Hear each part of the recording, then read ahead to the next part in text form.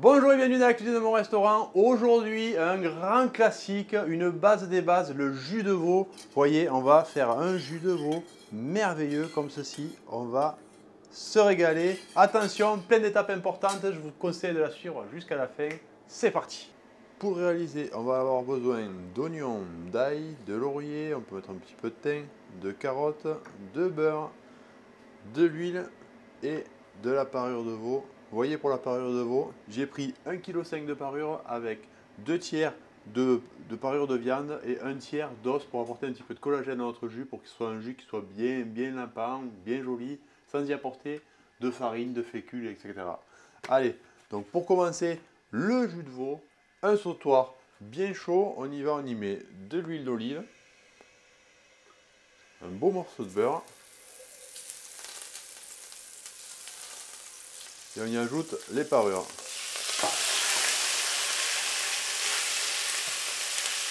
Et là maintenant le but va être de chercher une magnifique, une belle coloration tout le tour pour avoir un sucre merveilleux et avoir un jus parfait. Attention, pas trop de coloration, sinon ça va devenir amer et notre jus, il sera pas bien bon. Alors c'est parti. Pendant ce temps, on va se préparer une petite, euh, petite mirepoix de carottes, d'oignons. On va éplucher notre gousse d'ail, préparer tous nos petits légumes. Pour là, on va juste le garder en chemise. L'oignon,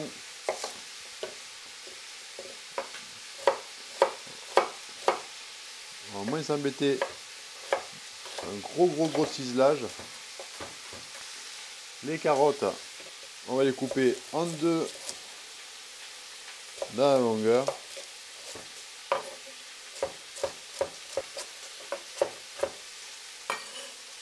Voyez notre coloration Regardez, merveilleux. Ça va venir tout doucement comme ça, on va arriver à avoir une coloration. Et les sucres, je les gratte au fur et à mesure, bien avec une petite spatule un petit peu en inox.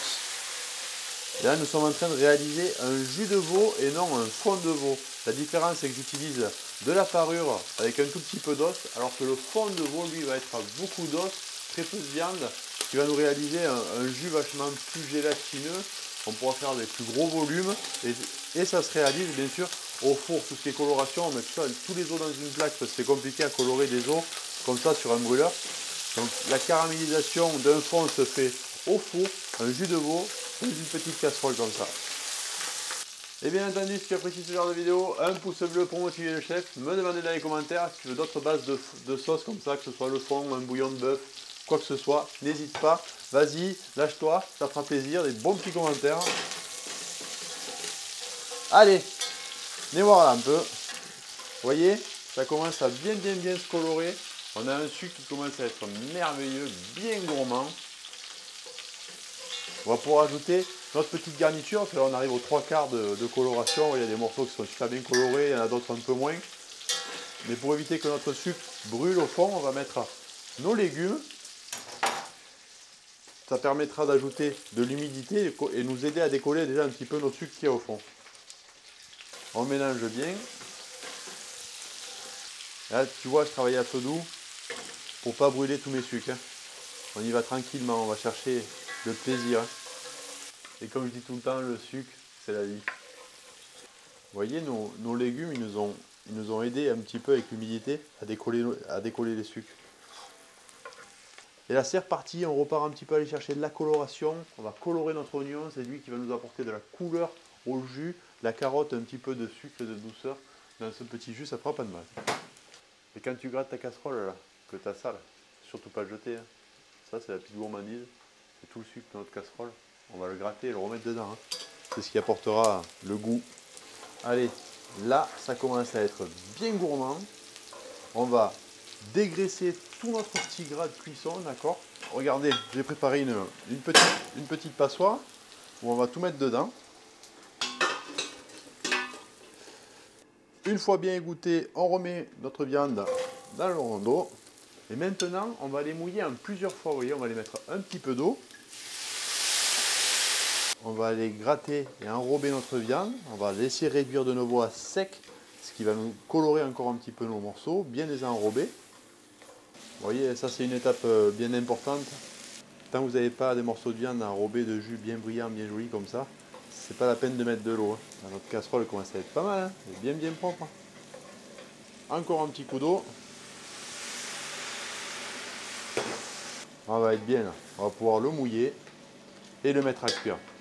Et une autre étape importante, je crois vraiment que cette vidéo est faite que d'étapes importantes. Donc suivez-la bien jusqu'à la fin, du début à la fin. D'accord? Là, une autre étape importante, c'est qu'on va mettre à cuire notre viande dans une casserole comme ça, vous voyez, une casserole pas du tout évasée, un peu haute, ce qui s'appelle une russe. Au moins notre, notre bouillon aura le temps de cuire. Si on le cuit dans une cocotte évasée, ben, il va s'évaporer. Le but d'une cocotte évasée, c'est que ça s'évapore.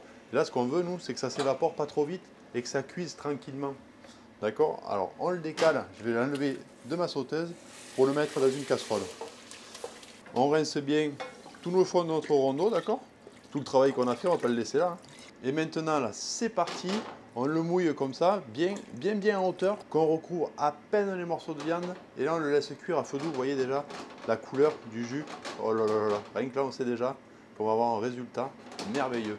Et là, on le cuit tout doucement, tranquillement. Maintenant, petit feu, ça part pour 4 heures de cuisson minimum, tout doux, tout doux. Faut vraiment pas que ça s'évapore. On peut mettre un petit couvercle à cheval, comme ça, au moins l'humidité retombera dans notre casserole. Ou alors le cuire au four. Quand j'ai plus de place sur le fourneau, c'est ma technique. Je le mets dans le four et je le laisse tranquillement cuire à 130, 140 pendant que moi je puisse cuisiner, faire autre chose, penser à autre chose. Il risquera rien dans votre four avec le couvercle. Allez, c'est parti. Et oui, surtout ne pas oublier de bien le nettoyer, enlever cette petite mousse qu'il y a dessus. Régulièrement, si vous en voyez, hop, on l'enlève. Au moins, on aura un jus bien brillant, bien propre. Donc là, vous voyez, après une petite cuisson, gentiment, tranquillement sur le coin du fourneau, on a un jus qui est merveilleux. On va le passer dans un chinois étamine bien fin comme ça. Alors on y va, on y va tranquillement. On y va à la louche. On met une partie avec un pochon comme ça. À la maison, on peut se débrouiller avec un petit chinois étamine. Une petite passette, je veux dire, et une cuillère à soupe, ça fera pareil. Là, vous voyez, on récupère bien le jus, des carottes, de la viande. Hop. On débarrasse le chinois et on continue ainsi de suite jusqu'à la fin de la casserole. Ah voilà, jusqu'à la dernière goutte, il faut y aller. Ce petit jus, c'est de l'or. Donc là, voilà, vous voyez, il est un petit peu trouble comme ça. On va le laisser reposer, refroidir à température. Dès qu'il est froid, on le met au frigo et vous allez voir la suite juste après, des petits secrets bien gardés. Alors voilà maintenant, après un peu de repos et de frigo, on a le gras qui a figé dessus. On va enlever maintenant deux tiers du gras. Vous voyez, j'en laisse un, tiers, on va dire, de la casserole. C'est très bien. Maintenant, on le prend, on le met à réduire. On voit selon ce qu'on veut en faire. Si on le met à réduire de moitié, on va dire, pour mettre au congèle, ça peut être pas mal parce que si on utilise pour n'importe quoi, on ne sait jamais sur quoi on va l'utiliser. On le fera réduire en temps, en temps venu par rapport à ce qu'on veut faire. Si on veut le mettre juste dans une petite crème pour une escalope, il euh, vaut mieux qu'il ne soit pas trop réduit. Et après, on peut le faire bien réduit, monter au beurre pour juste s'en servir avec une pièce de bœuf, juste simple, un bon petit régal. Allez, on trouve une petite place sur le fourneau, on met ça à réduire et on se retrouve tout à l'heure. C'est parti. Une étape aussi qui a bien son importance, bien bien écumer, le nettoyer régulièrement pour qu'il soit bien brillant à la fin et qu'on ait un résultat au top. Donc voilà, après un peu de patience, de réduction, on ne peut pas dire un temps pour la réduction, parce que ça dépend vraiment de votre casserole, si elle est évasée, si elle n'est pas évasée. Donc voilà, quand il a une belle consistance comme ceci, il y a l'équivalent de 500 à 600 grammes de jus, on va le monter avec 10% de beurre bien bien froid, comme ça, taillé en petits cubes. Donc pour ça, on le remet sur le petit feu, délicatement, et on le monte toujours avec un pochon, on ne monte jamais un jus au fouet, sinon ça va rendre tout trouble. Il sera opaque, ça ne sera pas bien beau. Donc on monte un jus comme ceci. On fait un petit tourbillon et on y va, petit cube par petit cube. On va le faire remonter, briller, finaliser notre jus qui soit merveilleux, bien goûteux, bien gourmand. On y va délicatement, beaucoup de patience. C'est l'art d'une belle sauce. Hein. Et là voilà, merveilleux jus de veau. Vous voyez, ça, c'est juste magnifique. C'est l'art de la cuisine française. Là, on est en plein dedans. Hein. Un vrai régal. Ça, pour le, Petit conseil, petit tuto, un moule à glaçons, vous remplissez tous les petits cubes, vous le mettez au congèle, au moins dès que vous en avez besoin, vous avez vos petits cubes de jus, c'est très pratique. Ou alors, ça peut se conserver comme ça une semaine au frigo si vraiment vous, pouvez euh, l'utiliser rapidement. Vous allez voir, ça va figer dessus avec le beurre et après il y aura juste à, le relancer sur une casserole comme on vient de faire. On va goûter. Hmm. Oh là là là là.